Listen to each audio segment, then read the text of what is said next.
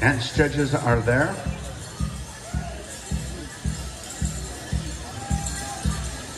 All right, young spirit.